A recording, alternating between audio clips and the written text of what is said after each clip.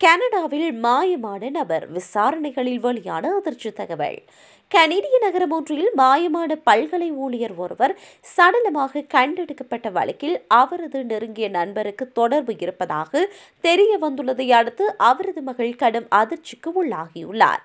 டாம்லோப்பை சேர்ந்த Mohammed Abdullah Thompson river பல்கலையில் கணினி அறிவியல் துறையில் இருபத்தோரு ஆண்டுகளாக ஆசிரியராக பணியாற்றி வந்தவர் ஆவார். இம்மாதம் பதினோராம் திகதி திடீரென மாயமானார் அப்துல்லா. பதினேழாம் திகதி வாகனம் ஒன்றில் அவரது உயிரற்ற உடல் கண்டுபிடிக்கப்பட்டது. அவர் கொலை செய்யப்பட்டுள்ளதாக போலீசார் தெரிவித்தனர். இந்த நிலையில் அதே பகுதியை சேர்ந்த சட்டத்தரணியான ரொஜிலியோ பட்ச் என்பவர் அப்துல்லாவின் உடல் பாகங்களை பிளாஸ்டிக் பையொன்றில் போட்டதாக கைது செய்யப்பட்டுள்ளார். ஆனால் அவருக்கும் அப்துல்லா கொலைக்கும் தொடர்பு உள்ளதா என்பது குறித்த தகவல் இன்னும் வெளியாகவில்லை. தன் தந்தை கொல்லப்பட்ட தகவல் அறிந்த பிலிப்பைன்ஸில் வாழும் அப்துல்லாவின் மகளான சாரா ஜீட் லலாட்டா ரிஜிலியோ தனது தந்தையின் நெருங்கிய நண்பர் என்று தெரிவித்துள்ளார்.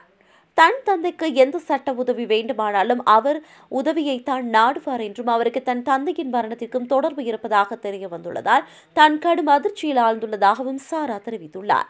போலீசார் இந்த வழக்கு தொடர்பாக தொடர்ந்து விசாரணைகளை மேற்கொண்டு வருகின்றனர்.